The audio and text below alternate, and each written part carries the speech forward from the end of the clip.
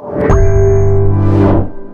जांजगीर चांपा ज़िले में लगातार कार्रवाई के बावजूद अवैध शराब की बिक्री रुकने का नाम ही नहीं ले रही है। पामगढ़ थाना पुलिस को कच्ची शराब बेचने वाले के ऊपर बड़ी कार्रवाई की है, जहाँ दो अलग अलग जगहों पर छापा मारकर 60 लीटर कच्ची अवैध महुआ शराब जब्त करने के साथ ही चार आरोपियों को भी गिरफ़्तार किया गया है। ये मामला पामगढ़ थाना क्षेत्र का है, जहाँ मुखबिर द्वारा सूचना मिली कि दो बाइक पर अवैध महुआ शराब लेकर दूसरी जगह पर खपाने के लिए ले जाई जा रही है। पामगढ़ पुलिस ने बिना मौका गवाए शराब माफियाओं को पकड़ने के लिए दोनों जगहों पर अपनी टीमें भेजकर आरोपियों को घेराबंदी कर पहले शराब तस्करों को धनगांव मोड़ पर दो लोगों को 30 लीटर कच्ची महुआ शराब और मोटरसाइकिल प्लेटिना के साथ पकड़ा तथा दूसरी जगह मेकरी मोड़ पर एक शराब माफिया को 30 लीटर महुआ शराब के साथ आरोपियों को दबोचकर पामगढ़ थाना लाकर उन पर आबकारी एक्ट के तहत कार्रवाई कर उन्हें न्यायालय में पेश किया गया, जहाँ से उन्हें जेल भेज दिया गया है।